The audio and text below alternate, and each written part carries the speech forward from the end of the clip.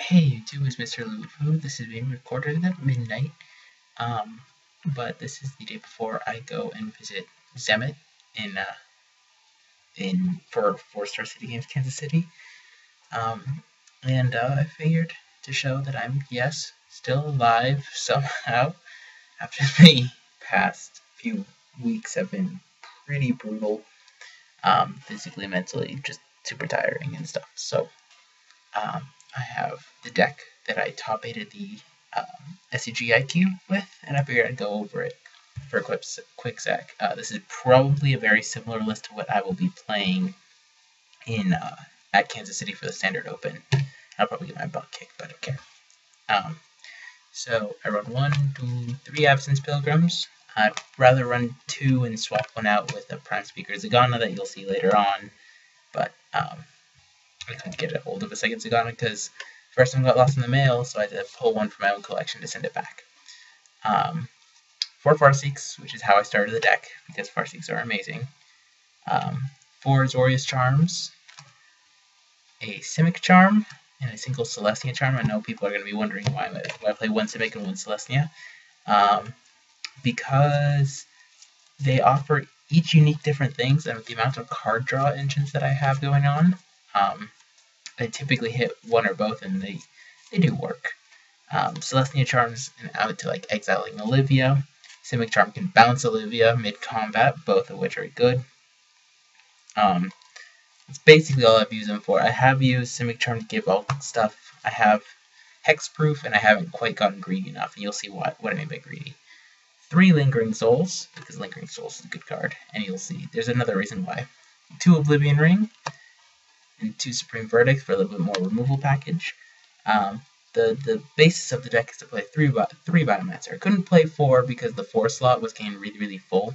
But Biomancer is a really good card with Lingering Souls because Lingering Souls will just net you two three three flyers for three mana or two mana with when you flash it back. Very very powerful Biomancer. So they basically have to have a removal for it, or they have to have an answer. Period. And uh, that's what I like a lot about him is you untap with him a lot, and if you untap with him, stuff gets done. Say, perchance, Restoration Angels gives him protection.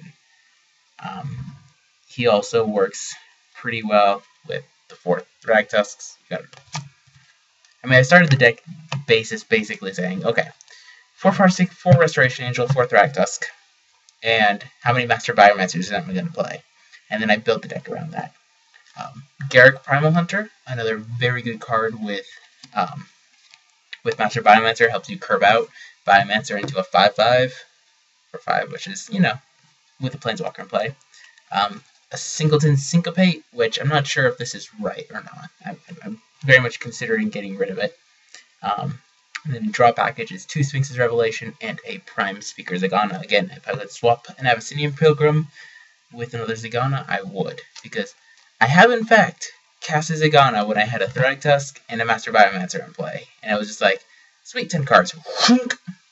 Hand refilled.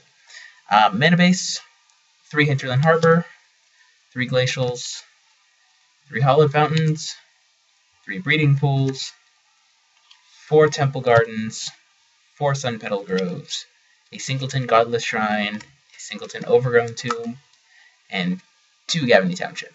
Um, my mana base is a little bit weird, and I used a, very complicated Excel spreadsheet and a lot of math uh, to try to figure out what would be the optimum amount of mana given the spells I was casting and what I had available and what I wanted to hit on each turn. Um, I hit black 50% of the time on average case, which is good if you want to hit Lingering Souls flashback, but sometimes you don't, you know, you don't need black, you need like second blue for to open up Zegana or um, Sphinx's Revelation, where you want to hit double white for Supreme Verdict, which is typically not that hard. Double white. Double white, double green is hard. Or double white, double green is easy. Triple green you have to be wary about for Garruk. Um, double blue is probably the hardest one to find in the deck. You actually have to plan for that.